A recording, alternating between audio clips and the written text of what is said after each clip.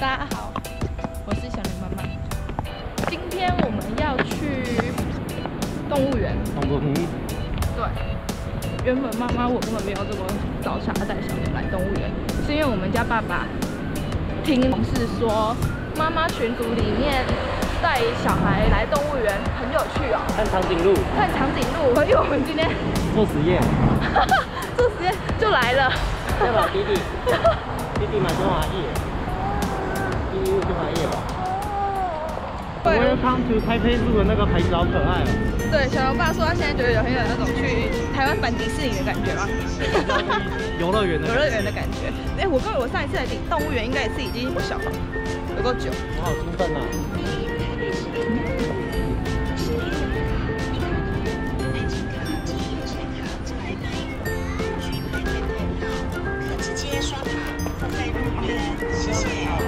悠游卡直接刷卡入园就好了。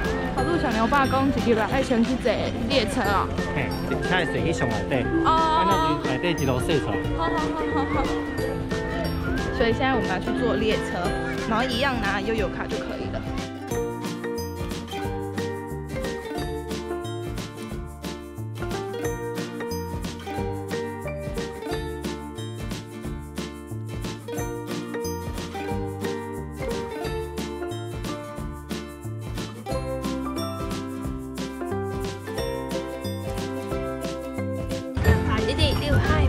Hello，妈妈 Hello。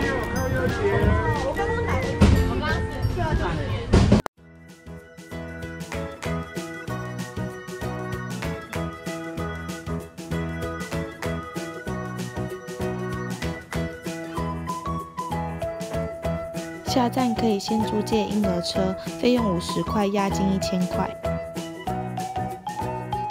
我们家小牛坐不了多久，就吵要下来。可以猜下一步就是要讨抱。第一个看的是海龟，再看的是企鹅。小牛被这些假的企鹅吓得不要不要。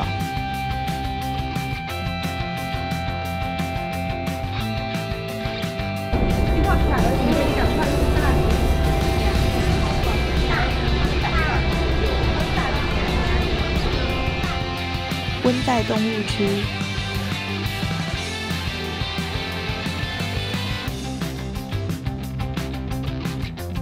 非洲动物区。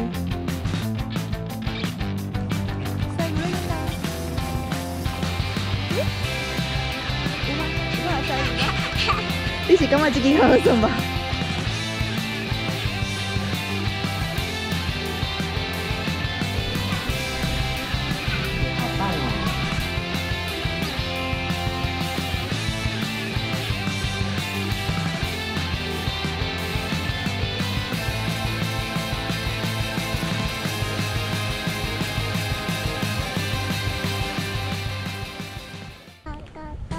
妈妈，斑马的代语是啥物？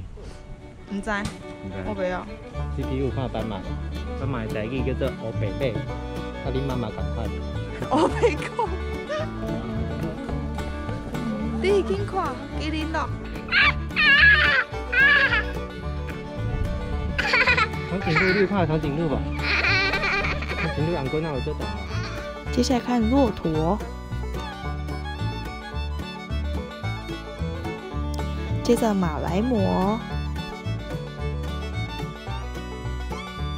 最后是熊猫。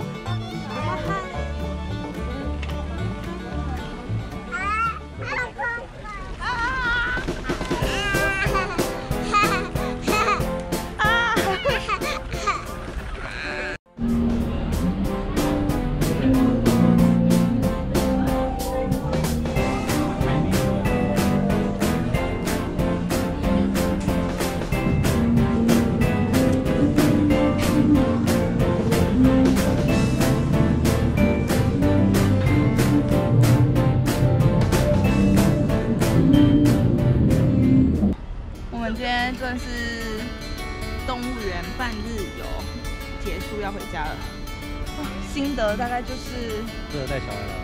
对，还蛮适合带小孩。其实我对动物园的印象大概只有停留在小时候来看红顶鹤跟企鹅。觉得动物园好像很大，然后可是永远就只有对入口那一区比较有印象。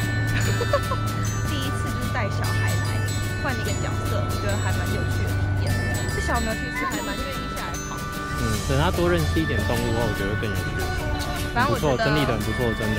对嗯有模有样的一个嗯嗯嗯地方，还蛮推荐大家来的。里面其实还蛮多观光客，各国的人都有。跟大家拜拜，弟弟。那今天影片就到这边了，大家如果喜欢今天影片的话，给我们按赞、订阅还有分享哦，拜拜。弟弟拜拜。